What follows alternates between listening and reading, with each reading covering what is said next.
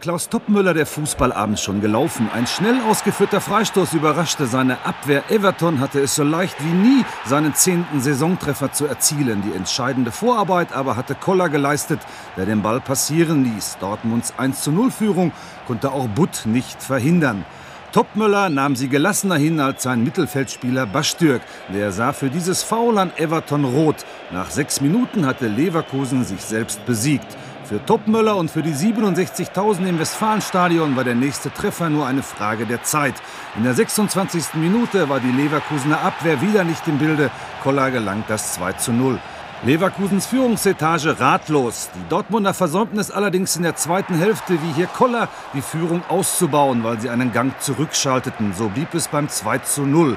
Für Topmöller aber wird die Lage immer kritischer, während der BVB sich weiterhin als Bayernjäger fühlt.